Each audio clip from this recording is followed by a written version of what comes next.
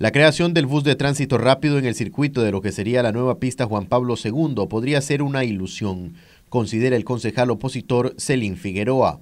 Lo que se conoce es que en esta ampliación de la pista Juan Pablo II eh, se tiene proyectado que un carril sea para el bus de rápido tránsito, no es Metrobús.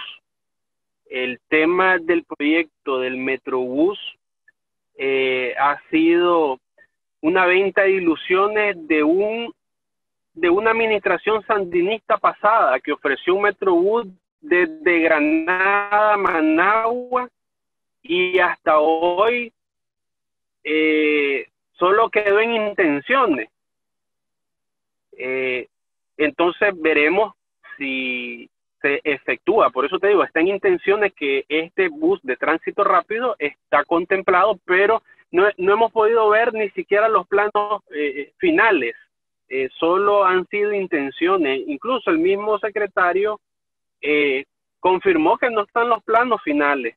Entonces, cuando estén los planos finales, ya entonces podemos ver que se va a ir materializando. Ahora, recordemos que este proyecto en la ficha técnica de este año está contemplado para cuatro años eh, la conclusión de esta ampliación de la Juan Pablo II.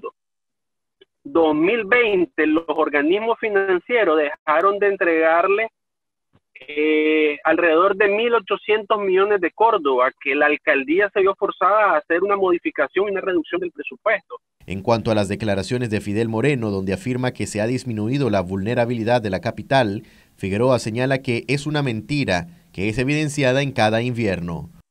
Dudo mucho de ese esfuerzo porque lo, lo podemos notar en la temporada de invierno, donde a veces los managuas se ven eh, vulnerables cuando van en sus vehículos.